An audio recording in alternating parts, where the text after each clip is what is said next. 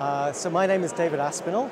Um, uh, I'm from the University of Edinburgh, and our research is about um, uh, mobile apps, so apps that run on smartphones, and uh, we're interested in the security of apps, so telling whether they um, they do things that are expected or things that are unexpected. So apps are fantastic, and uh, uh, everybody wants to run lots of different apps on their devices, so uh, they're useful for accessing bank account data, keeping your contacts, uh, managing chats, uh, playing games, all of these things. Um, but they all happened uh, at the same time on one device, and this one device uh, becomes very important to us because it keeps um, it keeps all of our personal data and maybe also data that belongs to the organizations that we work for.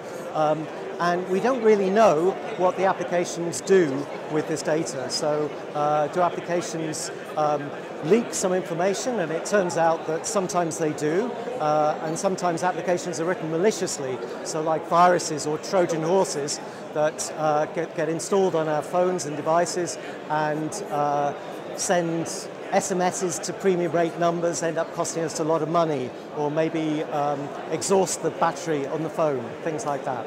Um, so let me tell you about what we're trying to do. So what we hope to do is by um, writing some complex algorithms to analyze applications, we can automatically determine whether or not they're uh, safe for the user to use. So at the moment this is done by uh, people who work um, manually, so a sort of expensive process of manual reverse engineering uh, that's time consuming and sometimes unreliable. So what we're trying to do is automate that process and also explain a little bit more in doing that uh, what, what, what applications are actually doing with our data.